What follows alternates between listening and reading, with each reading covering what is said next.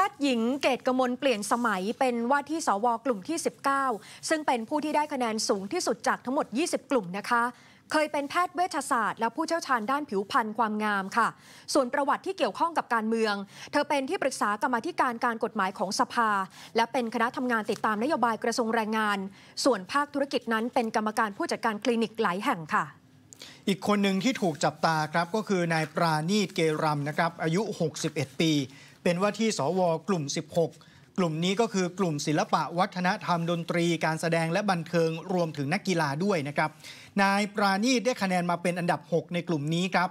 ในการสมัครสวนายปราณีตกรอกประวัติว่าจบชั้นป .7 มีอาชีพรับจ้างครับ แล้วก็เคยเป็นนักฟุตบอลอาวุโสปี 2527 ถึงปี 2547 นะครับ ซึ่งมีประวัติในใบสมัครสวแค่หนึ่งบรรทัดครับ ตรวจสอบเพิ่มเติมครับเพราะว่านายปราณีตเคยเป็นคนขับรถของนายชัยชิดชอบ อดีตประธานรัฐสภา ซึ่งเป็นพ่อของนายเนวินชิดชอบ เจ้าของสโมสรบุรีรัมย์ยูไนเต็ดไปสุ่มถามแฟนบอลนะครับ ยังไม่มีใครเคยเห็นนายปราณีตลงเล่นมาก่อนครับ ส่วนที่จังหวัดเลยค่ะ ที่ได้ว่าที่สว 5 คน และมีผู้สมัครสว ผ่านรอบแรกในระดับประเทศเป็นจำนวนมากนะคะ มีข้อสังเกตที่พบว่าบางคนมีความเชื่อมโยงกับธุรกิจของกลุ่มบ้านใหญ่ และบางคนมีความเชื่อมโยงไปยังตระกูลการเมือง คนในจังหวัดเลยบางส่วน มองว่าบางคนมีความเหมาะสม แต่บางคนก็ยังมีข้อสังเกตค่ะซึ่งคนในพื้นที่รู้กันดีว่าว่าที่สวแต่ละคนอยู่ในสังกัดใด และเชื่อมโยงบริษัทของนักการเมืองหรือไม่ แล้วก็บอกว่าเสียดายที่บางคนมีคุณสมบัติดีแต่กลับไม่ผ่านรอบแรกค่ะเราเอาคนแบบนี้เข้าไปแล้วไปคุยข้อกฎหมายแล้วจะเข้าใจกันไหมเนี่ยอืมคือเหมือนกับเอาไปยกมือ กับไม่ยกมือมีอยู่สองอย่างอยู่แค่นี้ใช่ไหมครับ ไม่มีความเข้าใจก็ไม่รู้จะว่ายังไงเนาะเขาให้ยกก็ยกเขาไม่ให้ยกก็ไม่ให้ยก ความเข้าใจไม่มี เรื่องปากท้องเรื่องอะไรไม่เข้าใจไม่รู้เรื่อง เท่ากับไม่มีประโยชน์เลยผมว่านะเรียกแบบเก่าดีแล้วสวหลายคนตั้งใจจะเข้ามาสร้างความเปลี่ยนแปลงในสภาสูงนะครับ โดยเฉพาะการมีส่วนร่วมในการแก้ไขรัฐธรรมนูญครับและหลายคนแม้ว่าจะผ่านการเลือกสวเข้ามา ก็ผิดหวังกับระบบการเลือกสวนะครับ เพราะเขาเชื่อว่าอาจจะมีการทุจริตครับ นางอังคณานีละภัยจิตว่าที่สวกลุ่ม 17 ประชาสังคม บอกว่ารู้สึกผิดหวังกับระบบการเลือกสวครับ เพราะวันนั้นหมายถึงวันที่เลือกสวในระดับประเทศ พบการเดินถือโพยอย่างจงแจ้ง บางคนจดใส่กระดาษยัดเอาไว้ในเสื้อ แล้วก็มีการแบ่งกลุ่มก่อนจะลงคะแนนนะครับ จึงห่วงว่าการทำหน้าที่ของสวชุดนี้ จะทำงานไม่เป็นอิสระ เพราะมีการล็อบบี้แล้วก็รับคำสั่งตั้งแต่ต้น ส่วนการทำงานหลังจากนี้ครับหวังจะผลักดันการแก้ไขรัฐธรรมนูญที่ร่างโดยประชาชน คล้ายกับรัฐธรรมนูญปี 2540 ครับ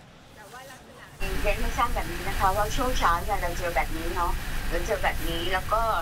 คือส่วนตัวเนี่ยก็เป็นคนที่เป็นที่รู้จักนะคะครัแล้บวพอพอเวลาที่เราไปนั่งอะไรเงี้ยหรือว่าเดินไปเดินมาในบริเวณภูหาเลือกตั้งเนี่ย ก็จะมีคนมาทักทายอะไรแบบเนี้ยเราก็แค่แค่ถามบอกว่า เออ เราที่เลือกใครอะครบสิบหรือยังอะไรแบบเนี้ยเขาก็จะบอกว่าทำไมอะคุณยังไม่มีกลุ่มเหรอ อะไรแบบเนี้ยเฮ้ยเขามีกลุ่มกับทุกคนนะอะไรอย่างเงี้ยค่ะเออมันก็เลยกลายเป็นว่าคนที่คือหลาย ๆ คนที่มีประสบการณ์การทำงานเอ่อมีผลงานเป็นที่ประจักษ์เนี่ย ถ้าหากว่าไม่ได้อยู่ในกลุ่มจัดตั้งหรือกลุ่มโพยอะไรแบบเนี้ย ก็คือแบบว่าไม่ไม่มีความมั่นใจหรือว่าเราจะสามารถแทรกเข้าไปได้ค่ะ ส่วนว่าที่สวกลุ่มสื่อมวลชนอย่างนายเทวริศมณีฉายค่ะ อดีตบรรณาธิการบริหารสำนักข่าวประชาไทยระบุว่า การผ่านการคัดเลือกถือว่าเป็นประตูบานแรก ที่จะเข้าไปแก้ไขรัฐธรรมนูญ นอกจากนี้ยังต้องการขับเคลื่อนเรื่องสิทธิเสรีภาพของสื่อมวลชน และเชื่อว่ายังถูกละเมิดแล้วก็ถูกคุกคามจากอีกหลายฝ่ายทำให้ยังมีข้อจำกัดในการนำเสนอนะคะสำหรับสื่อมวลชน และเห็นว่าสื่อควรจะจัดตั้งเป็นสหภาพแรงงาน เพื่อตรวจสอบและขับเคลื่อนด้านสวัสดิภาพ และสวัสดิการของสื่อมวลชนค่ะ แต่สาภาพแรงงานเนี่ยข้อเรียกร้องหลักต้องเป็นเรื่องของสวัสดิภาพการทำงานและสวัสดิการในการทำงาน ซึ่งอาจจะขัดและแย้งกับผลประโยชน์ของนายจ้างที่อาจจะ